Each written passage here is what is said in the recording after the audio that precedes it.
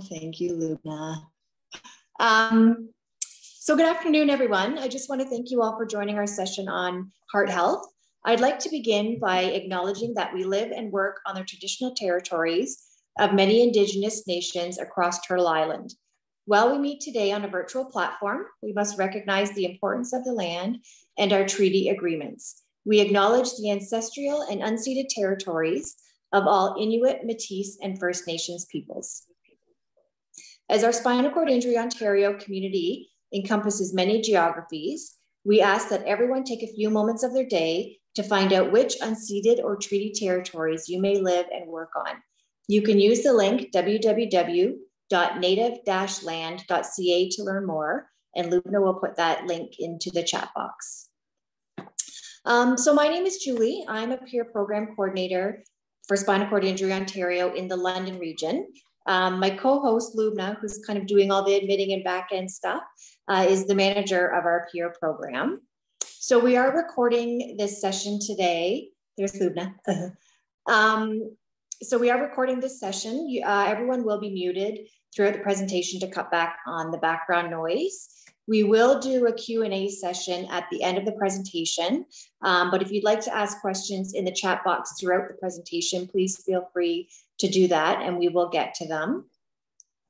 Um, so with a grant secured from Craig H. Neilsen Foundation, Spinal Cord Injury Ontario has developed a series of six e-learning courses on aging with a spinal cord injury. You can access these courses by going to cordtree.com and clicking on the Disability Education Center tab. So today, again, we will be talking about heart health.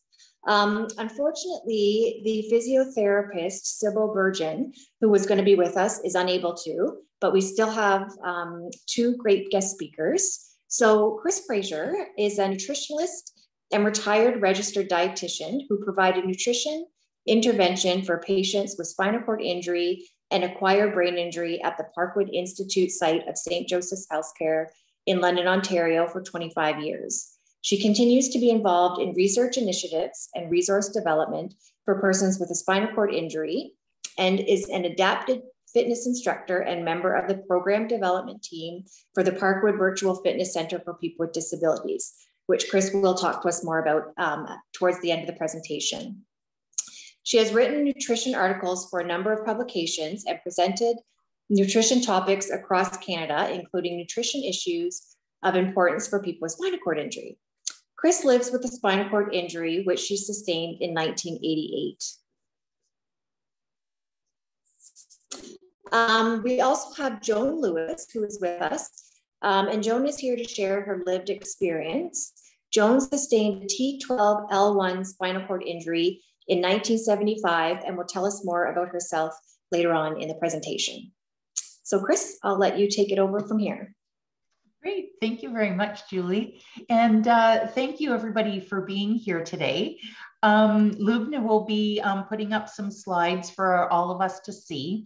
The focus of um, my part of the presentation is going to be um, what we can do with our diets, what we may need to eat a little bit less of, and things that we can incorporate more of for heart health and cardiovascular health. So, um, what's really, I think, exciting to know and exciting for me to share, and probably a review for everybody, is that um, that's nutrition is something that we have control over. Um, I remember when I had my injury coming up to 35 years ago, and any of for those of you out there who've had spinal cord injuries or illnesses that have a, affected your mobility or any aspects of your life, there's a lot of sense of loss of control. So when it comes to our lifestyles, our nutrition, um, th- there's a lot that we can do and have control over that have very, very uh, measurable effects, absolutely, and huge impacts on on our on our bodies and our wellness. So, um, nutrition, we have the power. Our food choices are powerful tools to decrease our, our risk for many things: um, overweight and obesity, diabetes, dyslipidemia, which basically means like high cholesterol or changes in other fats within your, your bloodstream, um, hypertension, which is high blood pressure, and inflammation. We know a lot about nutrition and inflammation. And you may say, well, I, I don't have a swollen ankle or a swollen wrist or whatever. What do you mean inflammation? Um, there are certain um, chemicals, not sort of natural chemicals and things that circulate in our bodies that can mean that we have a lot of circulating inflammation or not. And um, diet has a very significant role to play in inflammation. And we now know that inflammation underlies all kinds of chronic diseases that we have control over, like diabetes, like dementia, Alzheimer's, heart disease, and all kinds of things. And nutrition plays such a huge role. So we will be focusing on heart health, but the foods that we choose for heart health also contribute to our brain health and our gut health, um, which I believe is on the next slide. Lubna, please. I'm, I think I'm jumping ahead a little bit. Um, so it, yes. Chris, if you could just prompt me when you're ready for the next slide. Saying yes, I, slide. I know. Yes. So sorry, Lubna. I, I, I get ahead of myself and I get really excited talking about this stuff and forget about the tech part of things. So thank you.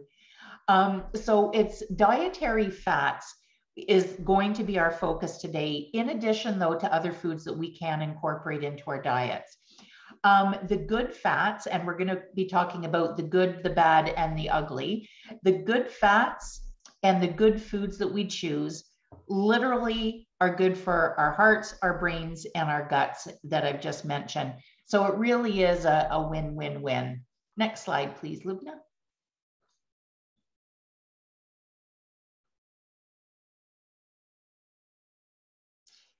So I'm going to give you your take home messages now before we dig a little bit deeper into what do I mean about dietary fats and what are the good, the bad, and the ugly. But here are some thumbnail sketches or, or take home messages for right now. So, good fats are liquid at room temperature. So, the oils. Bad fats, quote unquote, are hard at room temperature.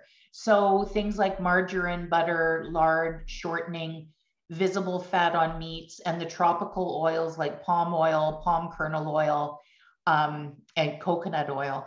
There, are there are uh, purported benefits to coconut oil. Um, I have yet to see any research studies to suggest that it contributes to heart health. And um, coconut oil or coconut fat is hard at room temperature, as if you've ever had a, a jar of coconut oil.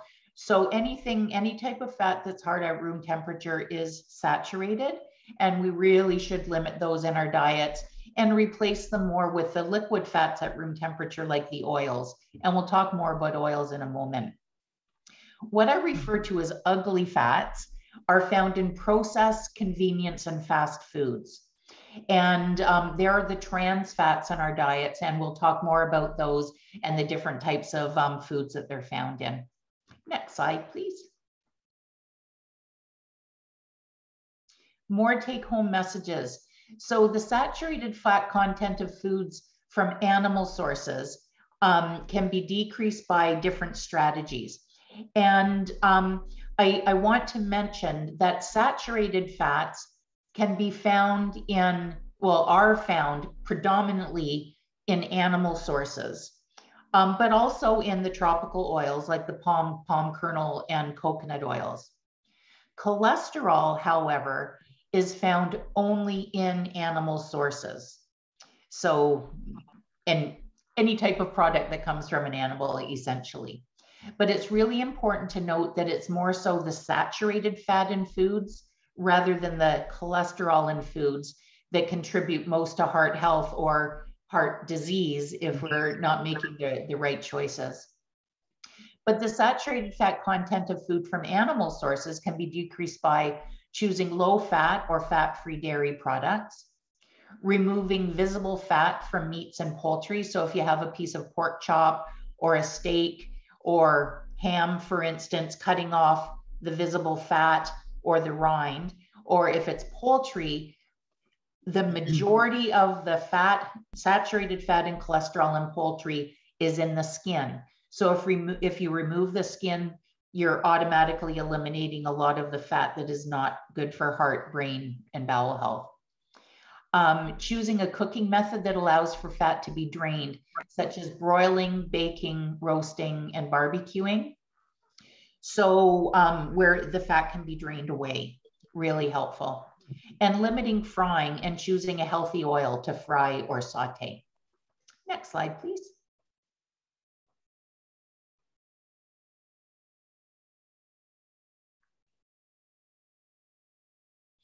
What can we do to add to our diets to improve heart health? because um, as a dietitian for 25 some odd years like i literally just retired as a registered dietitian continue to be a nutritionist um, so many times when i've gone in to speak with patients or clients and say hi i'm your friendly neighborhood dietitian here to talk about heart health most people assume that i'm going to be suggesting that they remove all kinds of things from their diets where we can actually add things in that really, really are heart healthy. And these are the foods that really overlap to our brain and our gut health.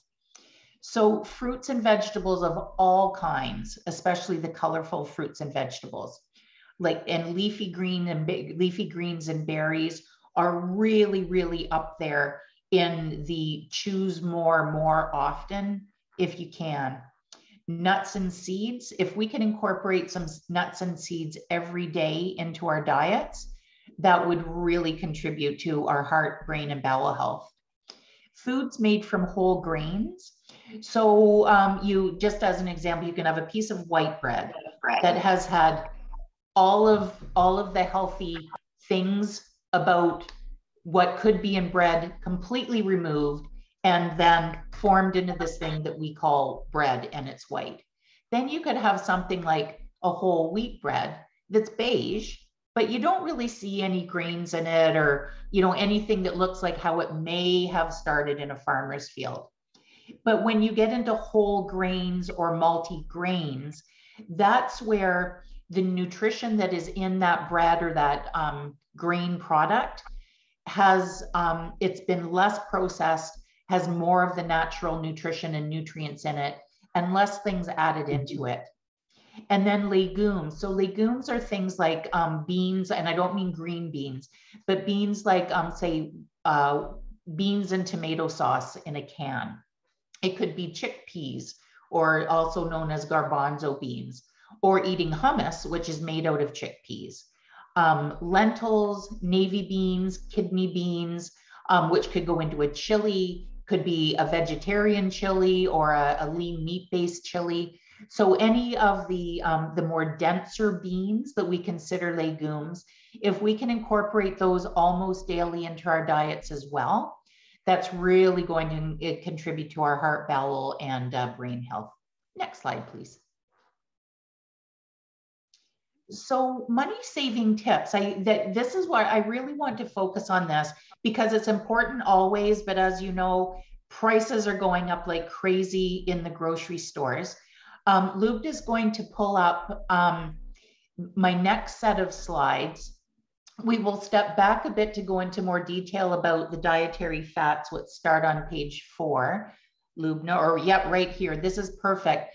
And then after we go back and dig a bit deeper into the heart healthy foods that we've just touched on, Lubna will um, go to the section specifically on how can we save money in the grocery store.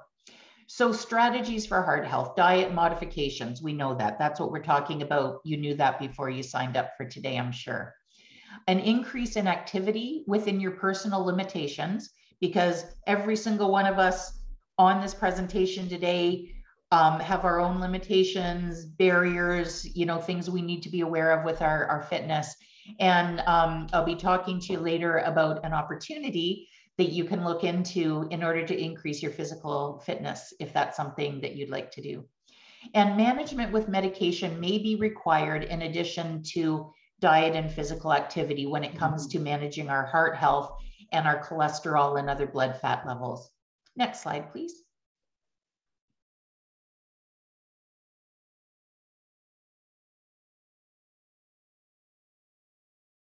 So here's where we delve more into the dietary fats, the good, the bad, and the ugly.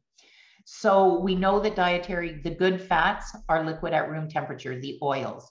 We know that good fats contribute to heart and brain health and may decrease the risk for depression or the intensity of the depression if that's a, a challenge that um, that you live with on a daily basis.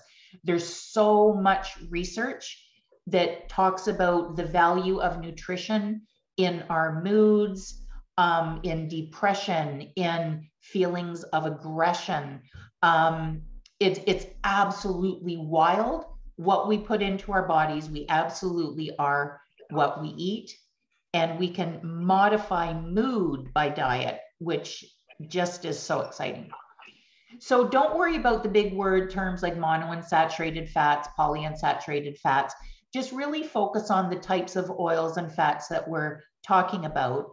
Reflect on your own diet and see where you may be able to change in small steps. We always make need to make changes or should desire to make changes in very small steps so that we're not setting us up for failure, setting ourselves up for failure if we say, I'm changing my entire diet starting tomorrow. So take a change that you think you can achieve and win it, and then choose to move on to the next goal. So monounsaturated fats, some good fats. Olive oil, which is what we use predominantly in my home. Canola oil, oil and walnuts. So if you're going to try to incorporate more nuts and seeds into your diet, walnuts are, are really good ones to incorporate. And very small amounts in the day are all that you need to get the nutrients from the nuts. Almonds, flax and peanuts, and peanut butter as well. Um, other healthy fats, fatty fish, ground flaxseed, oil and walnuts again, and then oils like the soybean, safflower, sunflower, canola, and corn oils. Um, but on a, a, a, slide coming up, um, I'm just going to give a, a little bit of a sidebar about some of those other oils like the soybean, safflower, sunflower, corn, and canola. Also want to mention, when you say, well, flaxseed, you know, I sprinkle flax seeds on my yogurt or my cereal in the morning. That's fabulous great source of a certain type of fiber called soluble fiber, which is a natural stool softener, good for the bowel. But in order to get the really healthy oil out of the flax seed, it needs to be ground. So you could go to the bulk barn or a bulk food store and get it pre-ground. Some people grind their own, like with a coffee grinder or a seed grinder or whatever at home. Um, so however you'd like to do it. Please make sure that if you have ground flaxseed that you put it in the fridge so that the oil doesn't go rancid. Next slide, please.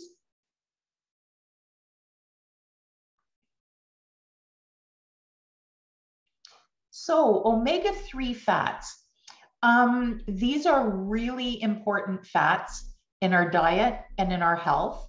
And um, so as an example, um, omega-3 fats, getting adequate or optimal omega-3 fats decrease triglycerides, which is a type of blood fat that we don't want to be high in our blood levels. We want to manage our triglyceride levels, and omega 3 fats can help do that. Omega 3 fats can help to prevent blood from clotting. So, that is great from preventing heart and brain issues like a stroke or a blood clot in the heart. Um, can help to decrease blood pressure can help to manage symptoms of irritable and inflammatory bowel disorders. So you can see again how heart, bowel, brain all link in and help with depression, as I mentioned, the, the good fats can do. So the best sorts, sources of omega-3s are fish sources.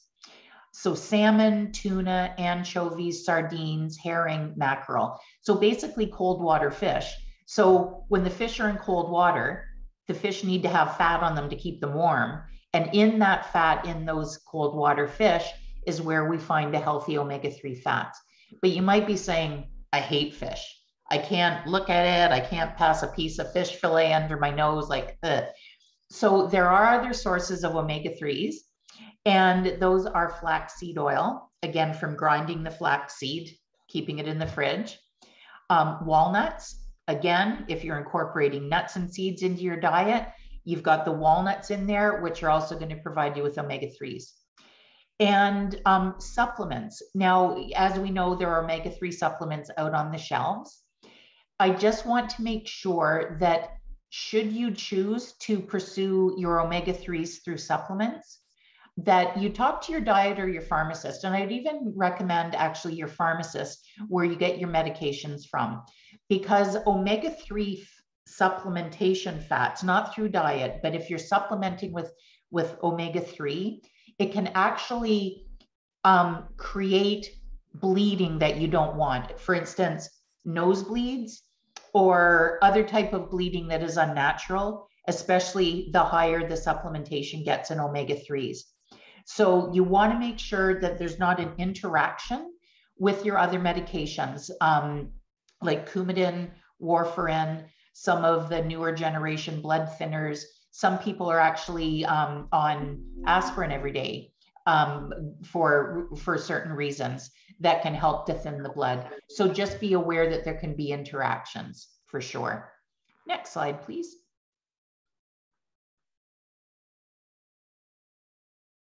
So the bad fats, review from a few minutes ago. These are the saturated ones. These are the ones that are hard at room temperature.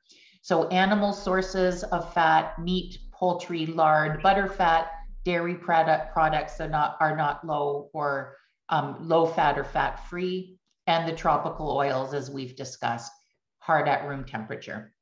And remember some of the strategies that we talked about a few minutes ago to eliminate the saturated fat and cholesterol from meats by cutting off visible fat, cooking so that the fat drains away, and removing the poultry from, from uh, the poultry, the skin from poultry.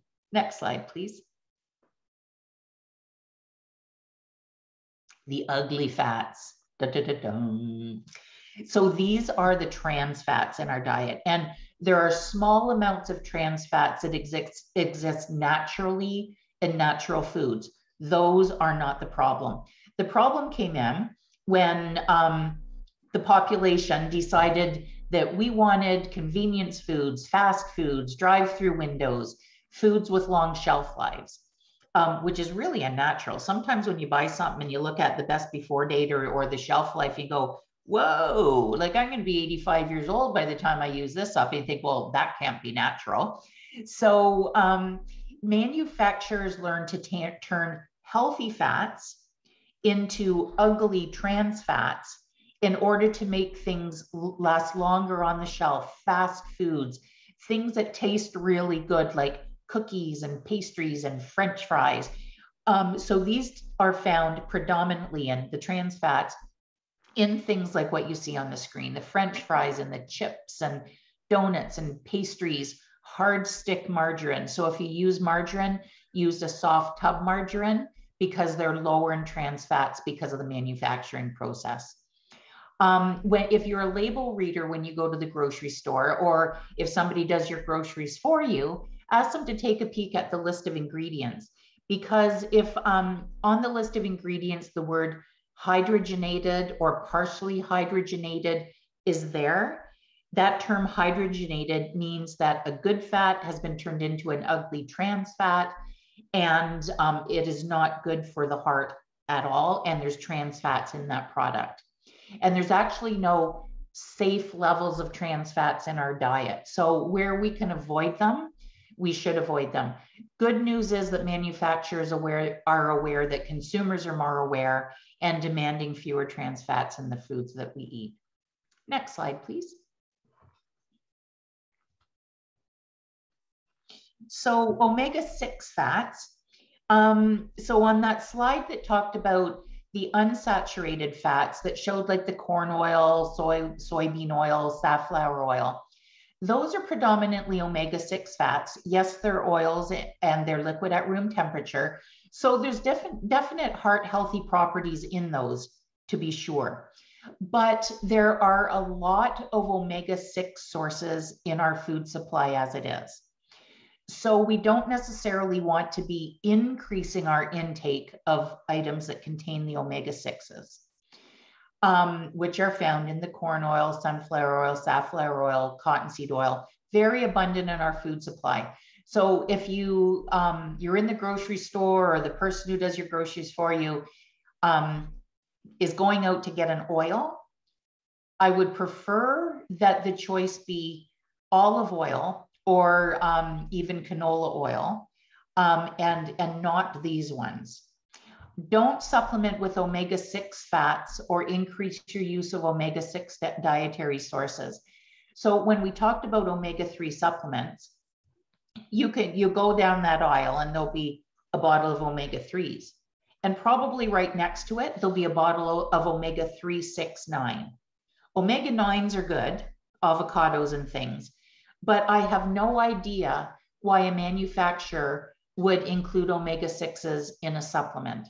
So if after talking to your doctor and or pharmacist, you choose to supplement with omega-3s, um, make sure it's just the omega-3 you're getting and not the omega 369. Um, an imbalance of omega-6 to omega-3 can result in inflammation and pain. So at the very beginning, we talked about how nutrition can either increase or decrease the invisible inflammation that goes on in our bodies that can underlie a lot of preventable chronic diseases. And omega 6s, because of how they work in the body, can actually trigger our pain receptors, so to speak. Um, so, again, just um, choose your oils wisely, preferably not the ones that contain large amounts of omega 6s, and do what you can to increase your omega 3s. Um, and so we're seeing some of our, our sources options olive oil and olives, almonds, avocado to achieve anti-inflammatory benefits. And not just these, but colorful fruits and vegetables, leafy greens, berries, certain herbs, um, herbs and spices like turmeric and um, garlic. All of these things can help with the inflammatory processes in our bodies to help with chronic pain and to help lower our risk for preventable chronic diseases. Next slide, please. So we, we know this rule of thumb now. Next slide, please. Other heart healthy foods. Um, so these are the things that you can add into your diets rather than removing from. So soluble fiber, I mentioned that when we were talking about legumes like the beans and tomato sauce in the can, kidney beans, chickpeas that turn into hummus, lentils, those types of things. They also are an excellent source of soluble fiber, natural stool softener, good for the gut, though incorporate slowly because it can cause gas. Or stools that are too soft that will make bowel care a nightmare. But other sources of, of, of soluble fiber that are great for heart health oatmeal, oat bran, psyllium, flaxseed, the lentils and legumes, barley, apples, strawberries, pears, citrus fruits, and other fruit and vegetables. Plant sterols and phytosterols, again, don't worry about the terms, just focus on the foods that you can choose. The vegetable oils, preferably like the olive oil, canola oil, um, nuts, seeds, and legumes, especially soybeans. So you're really starting to see the overlap in the heart, gut, brain health and the foods that we choose. So choosing one food won't just help for our brain and another one for our heart and another one for our bowel, like literally three bangs for our buck by choosing these types of foods. And then foods like cooked cooked tomato products especially, red and orange vegetables, watermelon, pink grapefruit and guava as an example, are um, sources of the carotenoids that are really heart healthy. Um, but again, you say, well, you know, this is a pretty limited list. If you're going for the bright color fruits and vegetables, dark greens, reds, oranges, you're going to be getting these good nutrients. Next slide, please.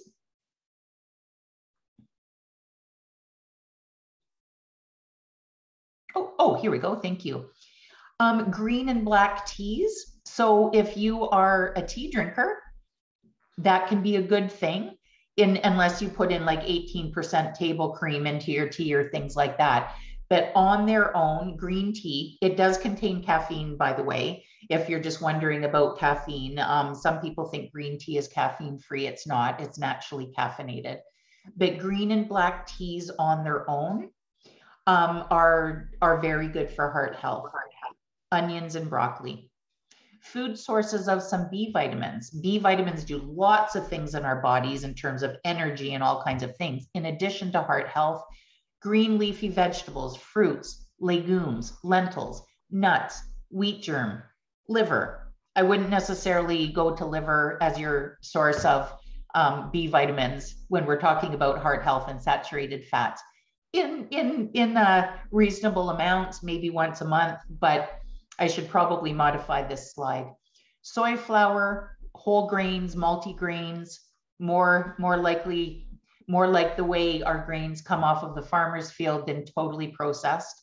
Fortified breads and cereals, meaning that um, the breads and cereals we choose have had nutrients added back in, B vitamins added back in, and lean animal sources. And then things like soy milk, tofu, soy flour, roasted soy nuts, and miso, which is like a, fermented product, um, is also good for heart health.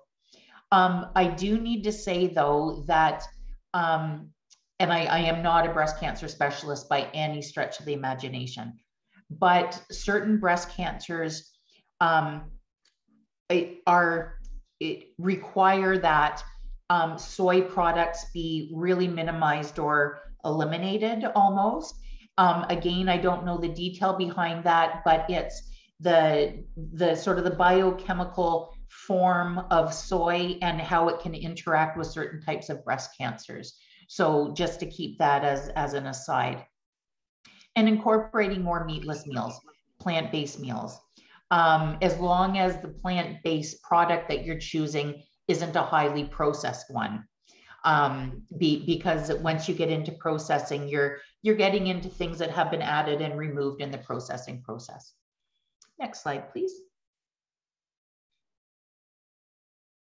So what do we do? Replace the bad fats in your diet with the good fats.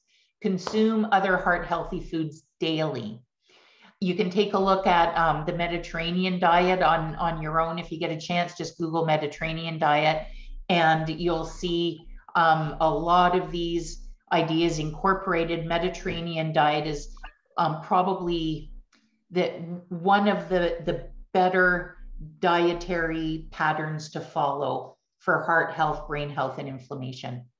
Attempt to maintain a healthy body weight, increase your physical activity within your your own your own limits and um, and with the input of your doctor physiotherapist. And ask your daughter to do a at minimum a yearly blood test. Super important um, i always tell people to know your numbers whether it's your blood sugars your cholesterol your vitamin d level certain things so um, it's the total cholesterol the ldl the hdl the triglycerides and some ratios um, that will be within what I call the, the lipid profile and also checking your blood pressure. Um, so Lubna, can you just um, flip to page 43, please? And we'll just talk about um, eating on a budget. And then I promise I will stop talking and uh, we'll hear Joan's amazing story. This is it, right, Grace? Oh, yes, I'm sorry. I didn't see it flip. Oh my gosh. Oh, talk about awareness. I need to become more mindful. Thank you very much. So I've kind of um, broken the um, best buys or the food group into what I refer as best buys. So in the meat and the meat alternates category, meat alternates are non-meat sources of protein, basically. So that can be the legumes, the nuts, the seeds, um, things like that. So plain frozen fish is less expensive than fresh or breaded fish. I always have frozen fish in the freezer. I rely a lot on frozen foods, especially seasonally. Dried canned beans and lentils, peanut butter, eggs, regular ground beef. Um, so when you get or ground beef or ground meats, turkey, um, pork, whatever, you can get the lean and the extra lean. It's going to cost you more money for lean and extra lean. So if you get the regular ground meat and just drain the extra fat off for longer to get rid of that fat. Canned tuna, flaked is less expensive than chunk or solid, and in fact, a little bit healthier from a toxin perspective. So canned flaked tuna, water packed, is always in my in my cupboard. But um, if it's packed in its oil, it's still a, a healthy fat. So so your choice. Choose the flaked. Um, utility grade chicken. The chickens that we buy aren't going to be on like a runway modeling the latest in haute couture. So if it's missing a leg or a wing or something, who cares? That's the only thing that's different. It's not different in quality and a lot less expensive to get utility grade chicken. Blade roast, rump roast, pot roast, and stewing beef are cuts of meats that are less expensive as well. Some may be a little bit tougher, so you may want to put them into stew and other um, things where there's liquid and moisture or sauces to make it um, to make some of those meat cuts a little bit more tender. In some cases, um, well, basically that that's the case. So you can have your cuts of meat. Different cuts um, are on on different price price grades. Next slide, please.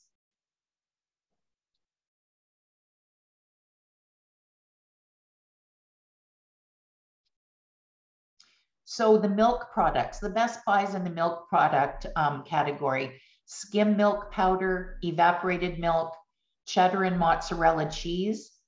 And I haven't noticed this lately, but sometimes old cheese will be more expensive than mild or medium. So if you're price matching on your phone or on your tablet or on your computer, or if you're like a, a paper flyer coupon person looking at the sales, take a look at that. I always thought that was so strange that old cheese would be more expensive. I don't see that happening as often, just but just be cognizant of that. Plain low yo, plain yogurt and fluid milk. Um, skim milk powder, a little sidebar on that, is that it contains protein. It contains the milk protein. So you can, if you're looking to up the protein in your diet in, in uh, an inexpensive, budget-friendly way, you can mix your skim milk powder into your fluid milk to make it a higher protein milk. You can mix it into your yogurts. You can mix it into cream sauces if you're doing a mm-hmm. casserole.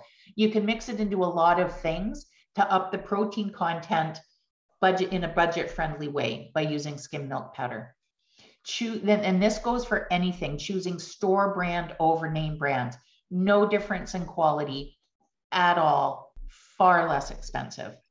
Bagged milk is a better value than cartons. Hmm might not have known that. Buy plain yogurt and add your own fruit nuts seeds and whole grains. So now you know you're going to be looking to increasing nuts and seeds into your diet and fruits so um, getting the plain yogurt rather than the having like the fruit on the bottom or all the stuff mixed into it, a lot less expensive. Next slide, please. Fruits and vegetables. Best buys, apples, bananas, oranges, grapefruit, cabbage, potatoes, carrots, turnip, rhubarb, plain frozen vegetables. Those are the best buys um, in, in fruits and vegetables. Of course, it's seasonal for sure.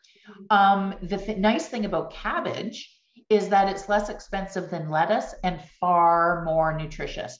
The amount of vitamin C in cabbage, massive, minimal in lettuce.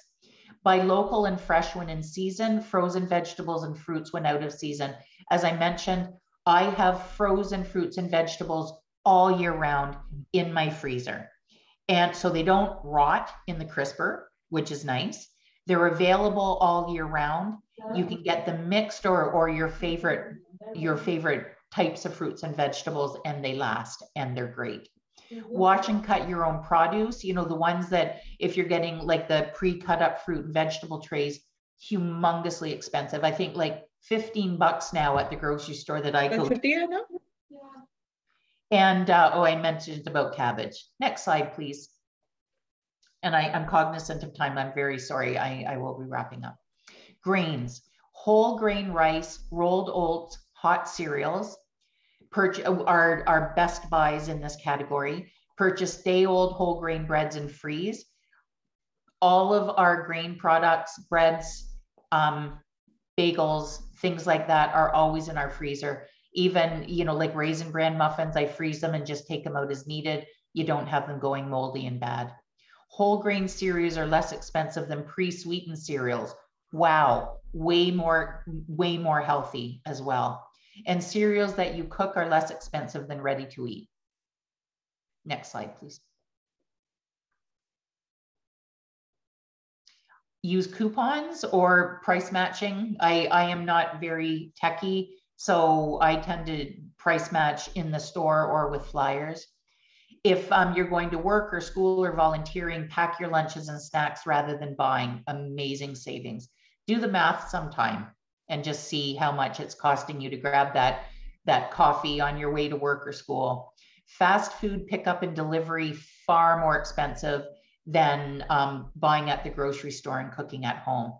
especially with the delivery companies now where you're paying and then you're paying and then you're paying on top. And packing meals and snacks in reusable containers to save money on disposable bags, way better for the environment as well. I think that is the last slide in this section. Thank you, everyone. I, I'm sorry that I went as long as I did. Um, you're going to love Joan's story, super inspiring, and uh, thank you for, for your attention. Thank you so much, Chris. Okay, Joan, do you want to take it from here?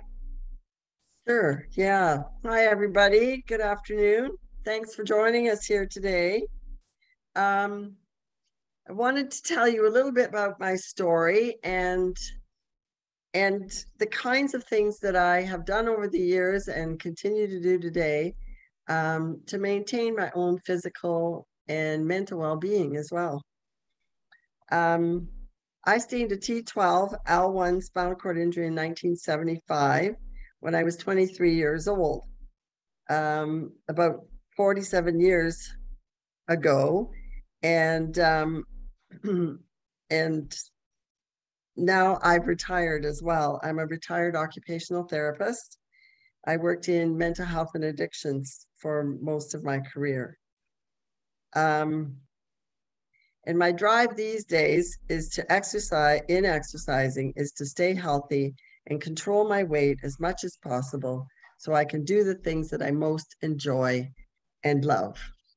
Because really, that's what it's all about.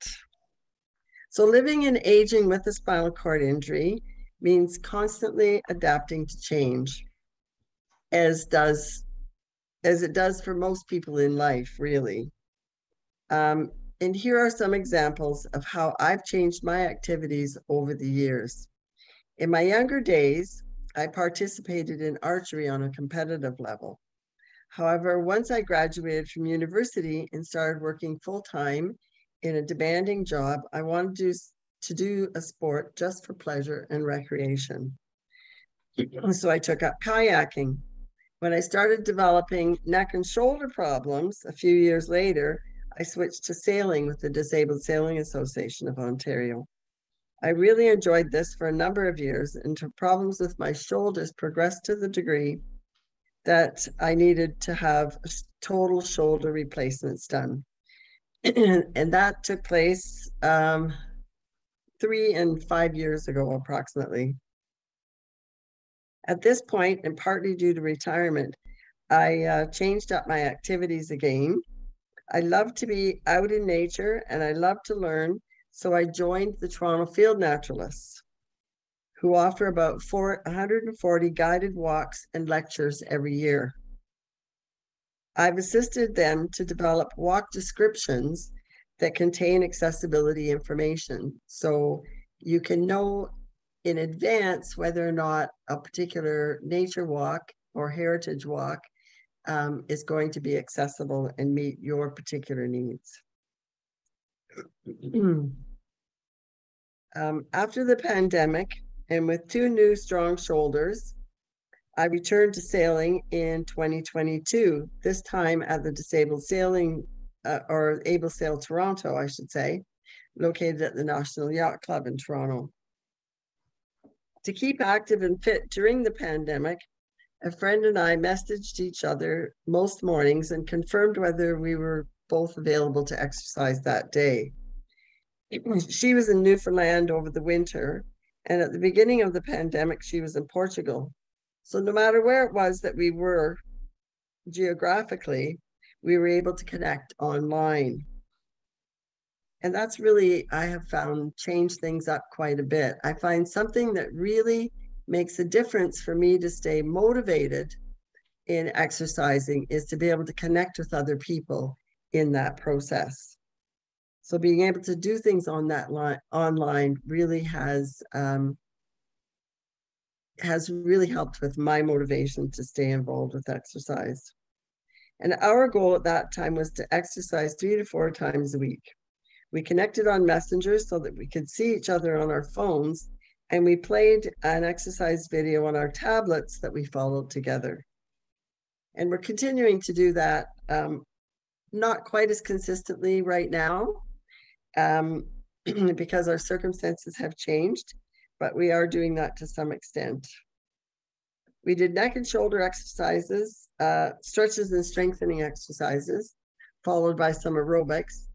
And um, and then in 2022, um, I've continued to with exercising with that friend occasionally, and also joined a yoga class that I do online weekly. And that was a yoga class I discovered through one of these peer connection um, uh, presentations. And uh, there's a, a, group that I've connected with that, that does that online weekly. I've also since then um, joined uh, a fellow to do a boxercise class on about every two weeks. And I have videos that we've done of those exercise classes and I do those on my own in that two week period in between when we when we meet live on on uh, Zoom.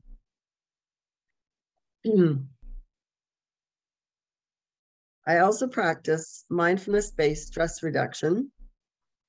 At the moment, not as consistency as consistently as I would like. I'm kind of on and off with it, but it's a form of meditation that helps to manage anxiety that comes with always having to adapt to impose changes. I believe our physical and mental health are intricately related. I strive to do whatever I can to stay healthy and mobile enough that I can continue experiencing the engaging activities and people that bring me joy. The long and the short of it is that I've found it's important to stay connected with others so as to learn of various opportunities to stay active both socially and physically. And over time, as abilities, mobility of devices, and opportunities change, so do my activities. So things are ever evolving. They never stay static, which brings its own challenges, of course. People are not, don't easily adapt to change, I don't think but it's certainly some, the one thing in life I have found is that things constantly do change, whether we like it or not. So learning how to to roll with that, um, whether it's geographical changes, whether it's physical changes, whether it's changes in your mobility devices or your abilities. Um, there are always new things to learn and new things to cover, discover. And I find that learning really keeps me motivated as well. So I'll leave it there for now. Joyce has raised her hand. Do you want to prompt question right now or do you want to wait till later?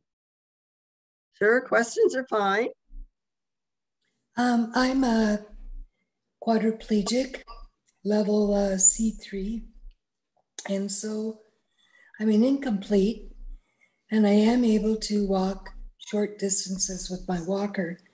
However, I can't do, like, I could never get into a kayak or a sailboat or anything like that. But how do you find out what is available for somebody who needs it? Um, actually, I I have known two people that sail who are not able to move. They have very, very high level injuries and they're not able to move anything but their head.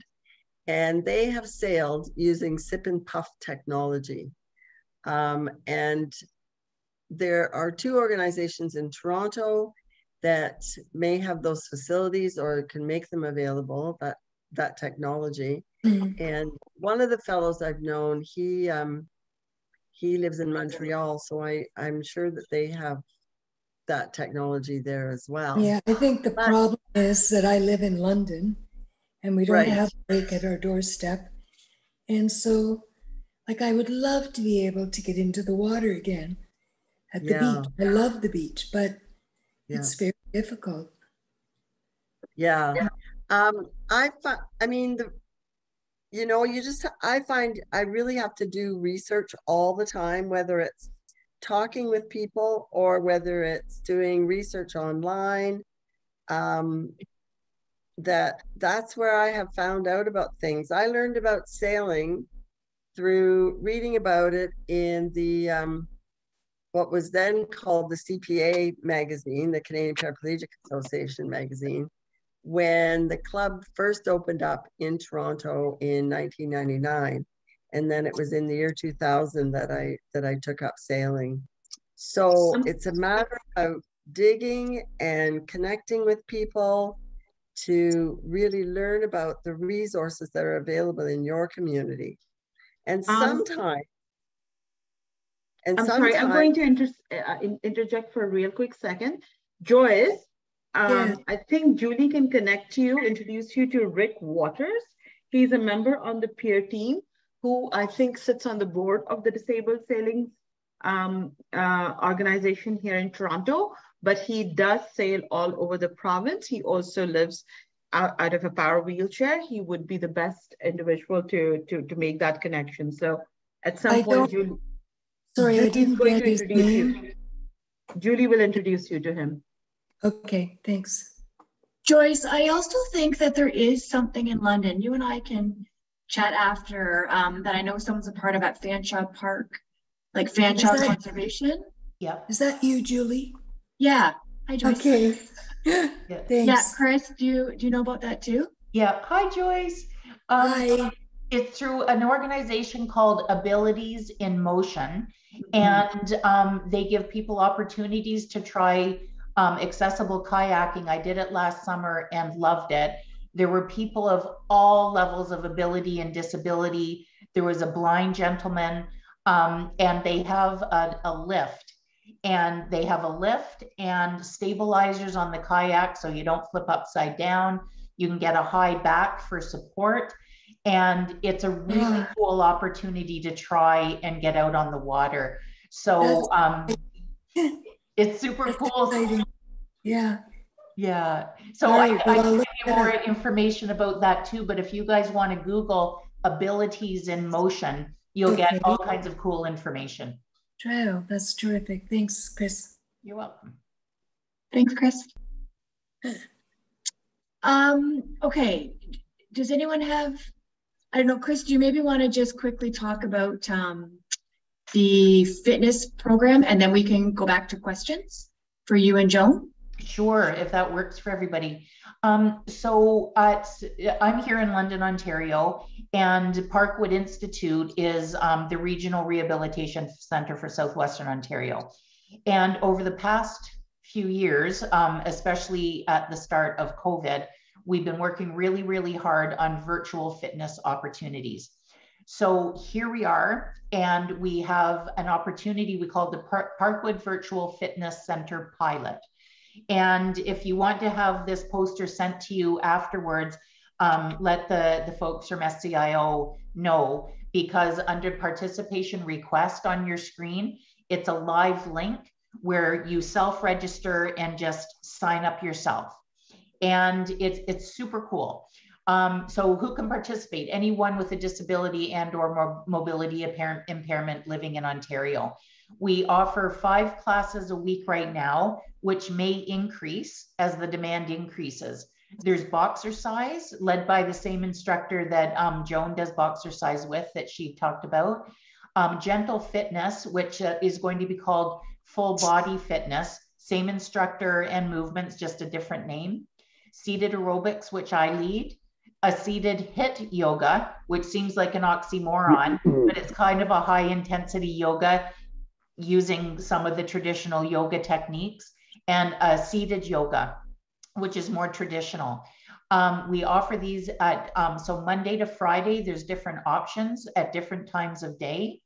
Um, and the contact information is there and, and on the, the poster if you request it.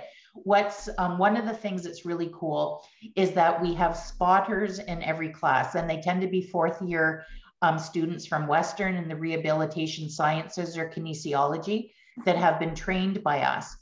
And um, so there's the instructor on there, so they're they're live classes with the instructor and the spotter and with groups of people. So, you know, when Joan said it's the interaction and working out with somebody, even if you're not in the same room or out in the park, it's being, it's working out together. So it's the accountability for yourself, accountability to others to show up, and it's fun and it's social.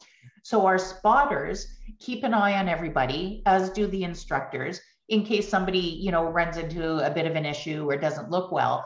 But more importantly, because everybody has different levels of ability and disability, the spotters will demonstrate lower, slower, different modifications to something that the instructor may be doing. So we're always suggesting modifications, whether or not somebody's mobility is impaired or has a bad shoulder at the moment or whatever. And um, it, it's, it's free of charge at the moment, hoping to keep it that way. So anyways, um, we're really excited about it and it's really fun. And some of the gains that people share in the classes, since they've been just more physically active, are, are really inspiring. Thanks, Chris. I've heard, I think I've told you this before, I've heard from a lot of people that really, really enjoy it. So um, hopefully you'll get more joiners. Uh, Phil, you've got a question? Yeah, I was just going to pipe in. Hi, Chris, it's Phil. Hey, Phil. How are you? Good. How are I you? just uh, wanted to pipe into with the fitness. It's uh, absolutely life changing. Um, I started uh, about a year and a half ago with the study, and uh, we continued it on, and then Parkwood's taking it on for us, and I'm doing five days a week. Actually, six days this week because uh, at four o'clock there's another class. Uh, they're doing a strength training class uh, for a few weeks, so um, I'm going to be popping into that in a couple minutes. But I, I would encourage anybody out there that's uh, looking to exercise. You can start out slow and just move your way up, like we've done. But it's uh, it's absolute life changing. It's uh, been fantastic. Thanks, Phil. Thanks, Um, if Phil. I might- If I might just say one thing to that, I, I was able to be the part of the last part of this study. Um, But the issues often are timing. Hmm. So mornings are not good for me because I have PSWs and so it just, it would be helpful, just to mention this, to have uh, some afternoon classes. Yeah. Yes, and, and Joyce, thank you for that. Um, the study that Phil and Joyce are referring to was a, a physical activity research study separate from this, but then flowed into the Mhm. virtual fitness center for those who wanted to continue to participate. And we are trying to modify times that um, work out for as many people as possible.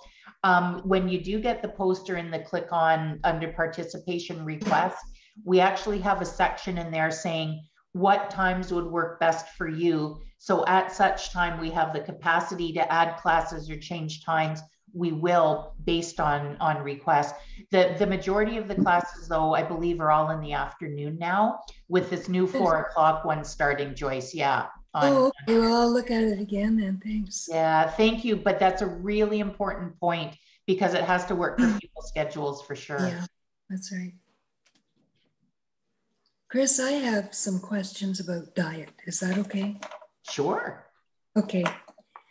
I use avocado oil frequently. Is that, I, I think it's a good oil, but It is an excellent oil, Joyce. so is it Excellent. better than olive oil? Um, it's it it has more omega nines in it. So basically, if you're getting omega threes from some places, if you use olive oil, sometimes you're getting omega threes from other Right. sources in your diet, and then using avocado oil as your main oil, that is a fabulous combination because it's increasing your omega threes and nines decreasing the ratio of the omega 6s that cause can relate or can um, result in inflammation and pain. Right. Okay. It's an awesome oil. Yeah. Yeah. So I am using omega 3. Um, I only, I mean, I think it's a good thing because I do have issues with inflammatory bowel. And so I thought that I was doing a good thing to be taking it. And yeah. the only issue I've ever had is with my stool because I tend to have loose stool, as you know. So I wondered about that. What do you think about the omega 3? Um, omega 3s, like oils in general, should not be contributing in any way to stool form, um, whether it be, be hard or too soft or loose. Um, as, as you and I have talked, you know, at, at yeah. length, um, Joyce, other things that would be more likely to contribute to that as well. But no, oh, your oil choices are super healthy. And I know that you don't overdo anything. And um, that would not be contributing from, from my perspective at all. All right, one more question. Muffins, you said were not good. But if you're making your own muffins and you're using olive oil or avocado oil in the process, that would be fine, right? Definitely. And, and I don't know if I said muffins aren't good. Anything, though, anything store bought. Yes. Sorry. Yeah. So yeah. um, store bought is likely to have um, not as healthy fats as homemade um, yeah. things like that. But but yeah, um, label read for sure. If if you're not a, a, home cook or don't have somebody that cooks and bakes, but um, Joyce, that's yeah. amazing. If you're doing your homemade muffins yeah.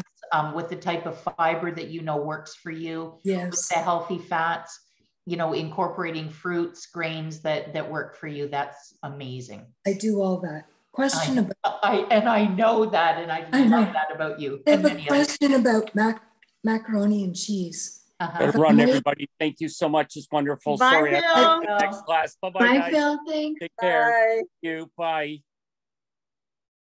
Yeah. Um, I wondered if I made my own mac and cheese. Is that a healthy food choice? Um, you would buy you would buy the noodles, though, right, Joyce? Of course, yes. So, um, you know, if if it's like the the white macaroni noodles, um, white grain products like white pasta, white bread, white yeah. bagels, white anything. Um, I've got very little in them. Very little in them, and and aren't aren't super. Uh, they might they can either be zero nutrition value or even negative, but you know we don't want to eliminate completely things that we enjoy out of our diets so um, if you're making mac and cheese, you're having a craving. I know your diet is super healthy in every other way. Um, if you're making it with your own cheese that, that you know that you can tolerate and you know what's going into it, that of course would be a, a better way of doing mac and cheese than the the box okay. stuff. But you might be able to find a whole grain um, noodles or yeah noodles that are made from other sources? Yeah, absolutely. And and there are some noodles that are actually made out of legumes and not just like a, yeah. a, a, brown a brown grain. Yep. So yeah. you can try a legume based noodle. That's a great idea. That's great. I've tried the chickpea um, penne pasta and I really like them.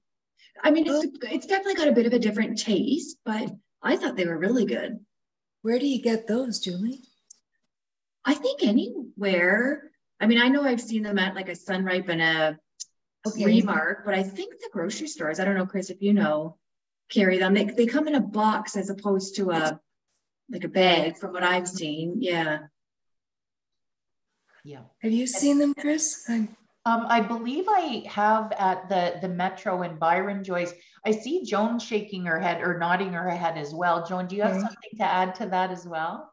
Yeah, I um I have celiac disease, so I um don't eat anything related to wheat.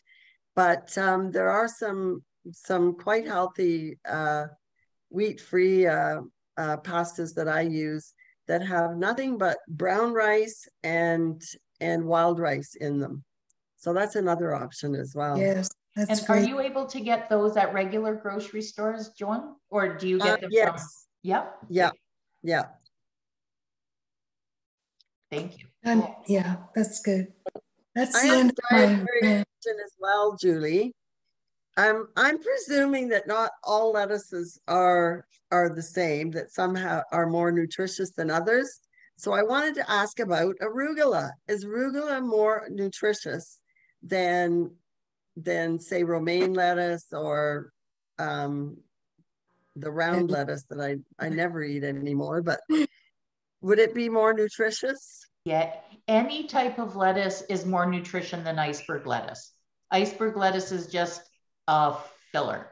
Um, I, I don't know off the top of my head a comparison between romaine and arugula. I know that they are vo- both very healthy because they fall into sort of like the the dark greens and the leafies and, and like the more colored ones. I could do a mm-hmm. comparison between the two, but they would both be very good choices. Very Not similar. iceberg. You're buying water and cellulose. Yeah. Country water.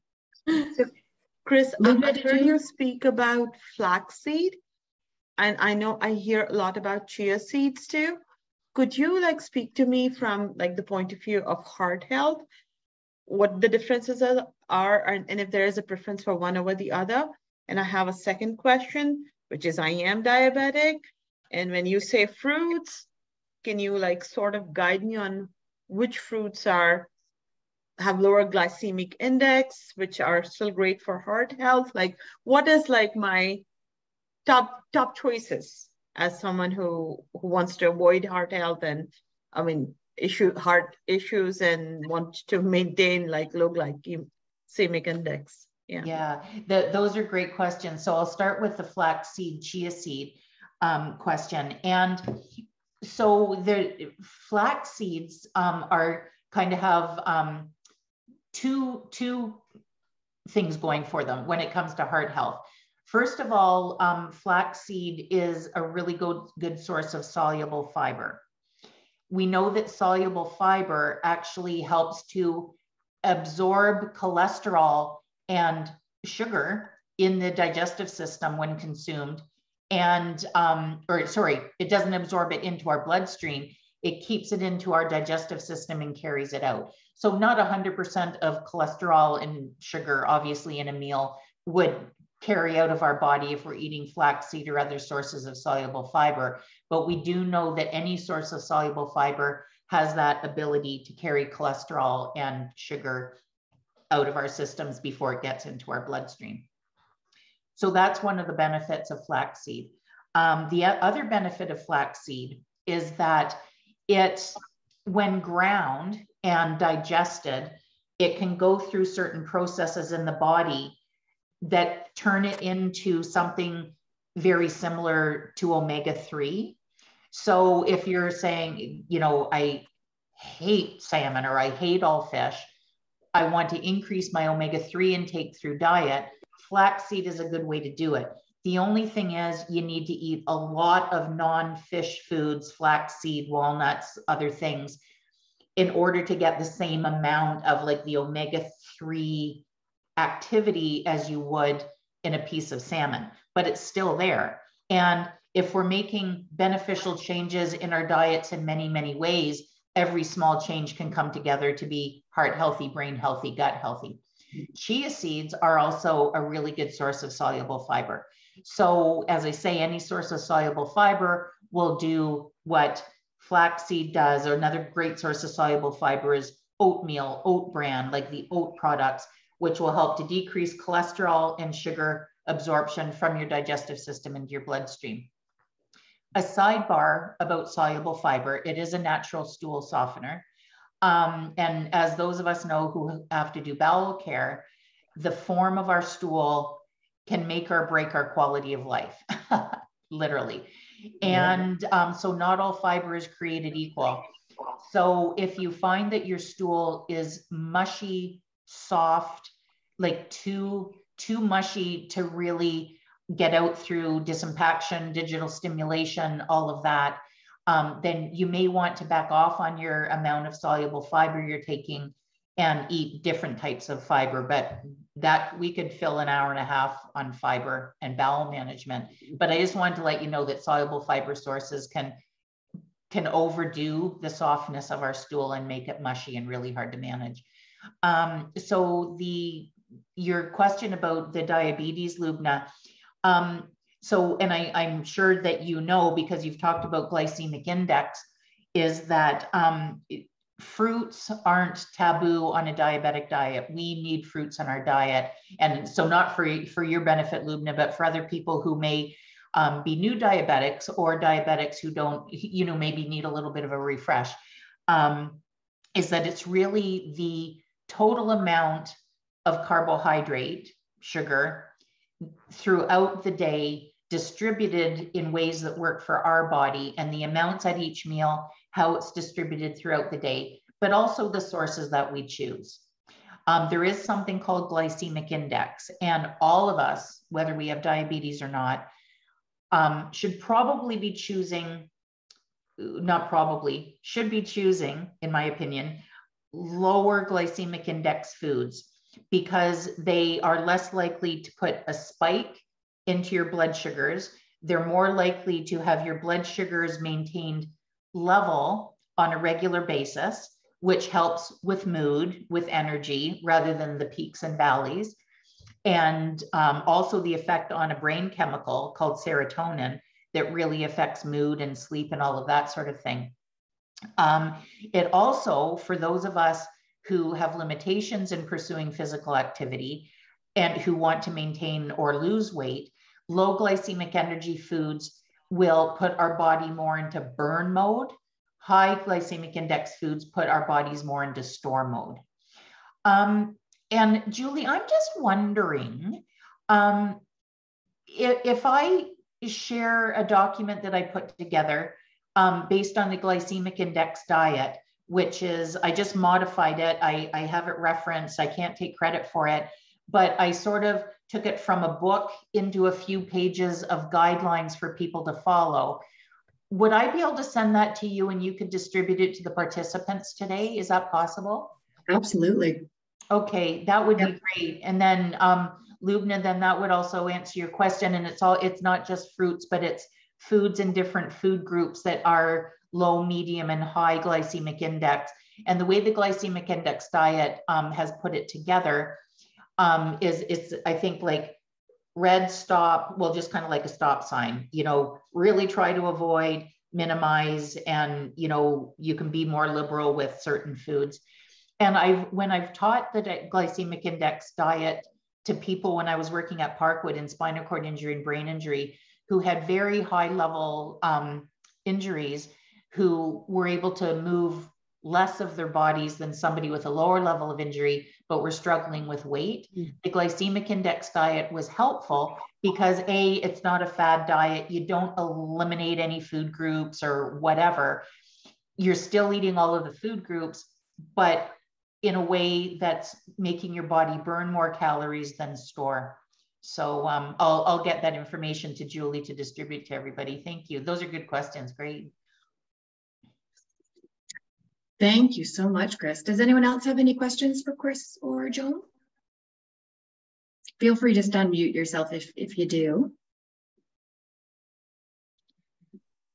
No. Can I just say that it is always so uplifting to be at, amongst others who also live with spinal cord injury because when Chris just said that, you know, the consistency of your stools can have such an impact on your quality of life, like like I, am like my whole body's like yes, yes, yes.